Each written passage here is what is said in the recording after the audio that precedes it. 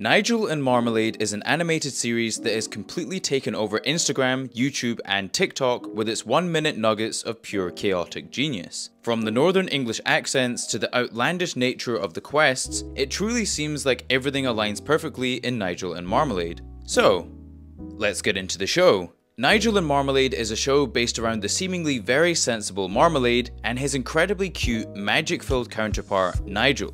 And usually within these one minute shorts, Nigel and Marmalade are walking, minding their own business, when an otherworldly creature comes out of the blue and asks for their help. At which point, Nigel uses his magic to try and lend a hand to the person struggling. However, more often than not, this magic leads to something horrific happening. Like say, a prisoner being freed or a plague being unleashed upon the planet, or anything else that is equally as horrific. And at the end of most episodes, we get a brilliant one liner from Nigel or Marmalade. No, Nigel. He's just had a traumatic brain injury. He'll be fine, probably. And unlike many other shows that follow a rigid arc, Nigel and Marmalade is able to keep the show fresh, and this reflects in the comments with fans never knowing what to expect next. And so, in order to get a better understanding of what makes Nigel and Marmalade so successful, I will now pass over to alternate universe Harry from Ends, who is set in the English town of Bristol with the show's creator, Tom Bates. You join us. Oh, you join us on a sunny, roasting warm day in Bristol, and I am with the creator of Nigel and Marmalade, Mr. Tom Bates. Hello, everyone. It's me. It's Tom. And we are currently using one microphone because the Harry from Ends channel is on a little bit of a budget restraint. The first question I would like to ask how did you get into making Nigel and Marmalade, and what was the main catalyst or catalysts? How did I get into it? So, uh, well, ever since I was a kid, wanted to do filmmaking. Little kid, you know, eight years old, playing with a camera. It was really like COVID lockdown where I was like, right, I can't go out and make films. I'm going to try making a film in my house and I tried green screen stuff. I tried just like me with a camera, and then I thought, well, I've always drawn and doodled stuff. Yeah. So I started doing animation in like 2020 or something. Yeah, tried a few experiments, and then Nigel and Marmalade came up came up because. Um, so I was um, I'd drawn like little versions of Nigel mm. over the years, and I was making these longer sort of three four minute YouTube yeah. videos, and I thought I would do an original idea because I wanted to do sort of like Big Lez Show style do a series on YouTube because I saw that and I was like, if I was going to do something on YouTube, that's what I want to do. So I thought I'd use these characters, Nigel and Marmalade, and had this adventure set up for them, just like a little five minute thing. And then part of that story that I had, which has never been made or never released, part of that story was there was a theme tune when they appeared. He's Nigel, the tiny wizard. So someone was in trouble and they appeared over the hill and it was Nigel riding Marmalade with the theme tune and that was the first animation I did. And I made it sort of as a as a way to kick myself up the arse to actually make the video and just thought I'll post it, see what happens, just get it out there. Yeah. And then once it was out there, it just sort of started to take off on TikTok. And I was yeah. like, cool, well I'll keep going. I made a few more videos and it just sort of snowballed from there, and I just just haven't haven't stopped. This is how we're doing it, by the way. We're passing the mic back and forth like school children. What would you say to any up and coming animators in terms of the utilization of social media? Oh, that's interesting. Um, I think it's the best way to get stuff out quickly. So I think working quickly is great because what basically I fell into the trap of trying to make something perfect or not even perfect just like something i was like yeah i love it yeah. i would sort of cripple myself by like not finishing anything hmm. or starting something starting an idea and working on it for six months and, and you know never getting anywhere yeah. and it was finally the deadline that i set myself with nigel and marmalade was at first make something every single week and you release it whether you like it or not it wasn't like i'm making the best thing i can make yeah. it was i'm making the best thing i can make in a week so I think give yourself parameters, and social media was a way for me to have those parameters of like a release schedule with feedback, and then people also holding you accountable, being like, "I want to see more. Come on, give us yeah. more," which you get you get a lot of, but it kind of you can use that as a motivation in a positive way. Has anyone ever, you know, has anyone ever commented saying, "What's up with the northern accents?" You know, people have been insanely positive in the comments. I can't believe how nice everybody is, yeah. um, which I really appreciate. Thank you. Um, And the northern accents, I don't know. I haven't seen like people, as far as I can tell, they like them. Uh, I don't know how accurate they are to specific areas. I just give it a go and see what feels right. No, Nigel, he's not dead. He's in shock from the trauma and blood loss. Um, so I just kind of pick accents and it, northern accent. Just sometimes it feels right. It feels good. Uh, so, in terms of your branding, Nigel and Marmalade doesn't really have its own tag. It's Tom Bates. Like when you go on social media, you'll see that everything is under your name. Is that an intentional choice, or did you just name the account Tom Bates and so happen to upload Nigel and Marmalade on it? It was exactly that one, Harry. It was just my account. Like I used all these accounts for years. Like I think I made my YouTube channel in 2012. I think I made my Instagram channel around the same time. You know, like all these things were just made under my name.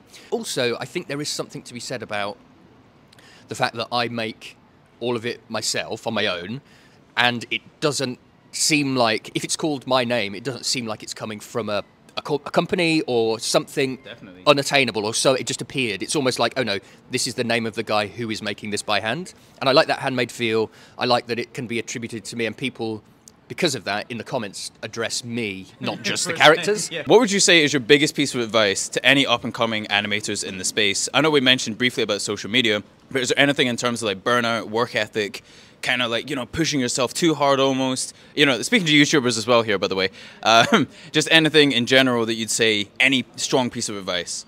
So I think um, burnout is a really, really good, really good question. Like I, I, I, when I started doing Nigel and Marmalade, I was trying to do one a week, and it's a lot to do a sixty-second animation in a week um, around a full-time job, which I've had this sort of for the past year while doing Nigel and Marmalade. I've done it all around a full-time job. Came a point where I wasn't seeing people, I wasn't hanging out with friends as much, I wasn't seeing my family, you know, and I realised that I had to drop down um, drop down the schedule a little bit to every other week, which is still a lot for animation. And that's that's probably the biggest bit of advice is um, don't push yourself to do impossible stuff. Give yourself a break. Like I worked towards this. Like I'm I'm 32, and I worked since I was a, a teenager. From 14, I was like, this is what I'm doing. So the journey has been very long, and I, I have sort of built up to this over 15 plus years oh, making a lot of stuff in my spare time to the point where when this took off, I was like, I'm ready. So it didn't come out of nowhere. It wasn't like, oh, I've spent every evening not working on stuff. It's, it was kind of, it felt like a build up over time. So that this was the first thing that took off and I was ready to jump for it. I would be worried if someone suddenly finds a success and then they're suddenly going at 100 miles an hour. I think you do need to ramp into it a bit. Um, and also just take your time. There is no pressure to be a success immediately. It's much better to take your time to find your voice and yeah. But burnout is an issue and the only way to solve it is to not do as much and don't don't go crazy and do the impossible. It's absolutely a great point because you see, even like in the music space or in any space, really, if you have a huge blow up, uh, this is going to sound like a silly example, but Lil Pump, Smokepurpp, all of these guys, you know, they blow up overnight and it's like they have songs with hundreds of millions of views tens of millions, whatever it is, because they don't really have a sustainable audience. They have people that are there for the hype, and I guess it's the same in any industry. That if you kind of rush things and just do things like because they're trending, or you know, just just for the sake of it, really, because oh, it's the hot thing, then you're gonna have an audience. You've attracted an audience essentially that's into the hot thing or the into the trending thing, but it's not it's not necessarily people that are gonna stick with you four or five years down the line when you know when you want to make a passion project that's separate from all of that. If you do something that you think is going to be popular and then it does, but you don't like it, Yeah. and then it does get popular, you're stuck doing something you don't like just because it's popular. So you might as well keep doing something that you love, even if there's years where it doesn't get noticed by anyone, because at least you're doing something you love, and then if it takes off, fantastic. I had I had no I had no inclination that Nigel Marmalade was going to take off, and I'm very very very very lucky that I love it. Yeah. Because that is the only way that I've kept up the momentum that I have is because every week I'm excited to get stuck into doing it. now that you've cracked the internet, has there been any uh, TV studios, anyone that's come up to you and said, "I would love to make Nigel and Marmalade a full show, you know, get it on whatever network, or, and we'll pay you a bajillion dollars." I am a bajillionaire now. Uh, no, um, so I have had some interest from some TV people um, in terms of how it relates to Nigel and Marmalade. I currently my plan is to keep that independent, keep it separate, keep it my thing. I, I'm fortunate because I'm I'm the only person who's ever worked on it. Like I own Nigel and Marmalade, it's my thing, and I think it's it's something that at least currently I want to hold on to and see what I can do myself. Yeah. What I am interested in, in doing uh, as a side thing is maybe seeing if I can do a TV thing, but but not Nigel and Marmalade, something new. Um, just because I am scared to uh, have Nigel and Marmalade be changed into something that I don't want. Like I'm in a place where Nigel and Marmalade is uh, direct from my brain out into the world, and I don't have to think about anything except do I like it. Would you say that YouTube is kind of the strongest place to grow your animation if you're just starting out? Or would you say it's TikTok with the shorts, you know, like that kind of just being thrown in your face? Or how would you say like Nigel and Marmalade was able to grow so quickly in the way that it did? It was really interesting to see the different algorithms at work. Yeah. Um, like TikTok was the first place that it took off, and that makes sense because TikTok is churning and showing just like- millions of videos. Look at this, look at this, look at this. And what you see with TikTok is a massive spike the day it comes out, and then a very quick drop off into almost nothing for the rest of the time. So it's like you're big and then you're down, and then you're big and then you're down. And so that worked for me on TikTok because it got it out there. So I, I, I just thought, uh, whatever, I'll post it. So I did, and it was overnight, I think, 200,000 views, or 20, it was like 20,000 views, and then 200,000 views. And so that was enough for me to be like, oh, cool, I'll make another one right now. So within like four days, I made another one, and it went up again. And I was like, oh my God. Um, and at the same time, I was posting to Instagram and YouTube at the same time. However, they, like I said, they were getting a few hundred views maybe. Whereas uh, maybe three months after I started, Instagram started to take off.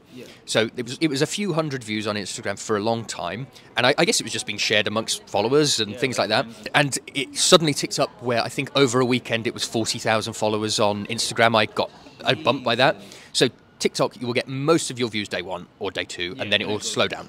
Instagram, sort of similar, maybe a bit slower, and then it slows down. YouTube is like, you know, it, it's still great. I think day one, sometimes you'll get 100,000 views, and then it will keep going to the point where it's getting like after a week or two weeks or a month, it's still increasing by tens of thousands, if not hundreds of thousands. You know? And sometimes that then lifts all the other ones as well. And it just feels like a very steady increase, whereas all the others are so like, spit it out, forget it. If I was only big on TikTok, for example, and nowhere else, I'd be a lot more hesitant about jumping in um, as a business or as, as, a, as a way to make money. Um, so yeah, YouTube for me is the is the one. I don't even remember where we started. I feel just I just ranted for so long. You know, there were so many barriers in your way, and now it's you can do it on your phone. Like, and, and it's, it's it, the world we're living in is is you can make anything you want to make. You just have to find a way to do it yourself. Yeah. And opportunities will come if people recognise your your voice, your talent, your whatever. There's something there. They'll see it, or you might just happily carry on doing your own thing. So, reporting from sunny old Bristol, I just want to say a massive thank you to Tom Bates for coming out and speaking to me today. The mastermind behind Nigel and Marmalade. And if you haven't seen it already, go ahead, do yourself a favor and check it out. It's on TikTok, it's on YouTube Shorts, it's on YouTube, it's on Instagram. It's probably on Bebo and Club Penguin by this point. So, you know, do yourself a massive favor. Click the old subscribe button. I'll put the channel somewhere here. Thank you, Harry. Thank you for reaching out. Thank you for coming all the way to Bristol to chat to me. I really appreciate, it. And thank you for making a video on Nigel Marmalade. It's my pleasure. Thank you so much, and thank you all of you for watching. I love you. Goodbye. Thank you. Subscribe. By the way, shout out to my uh, beautiful uh, princess girlfriend. She recommended Nigel and Marmalade to me back in I think October or November. No, it's your interview. But no, I'm just-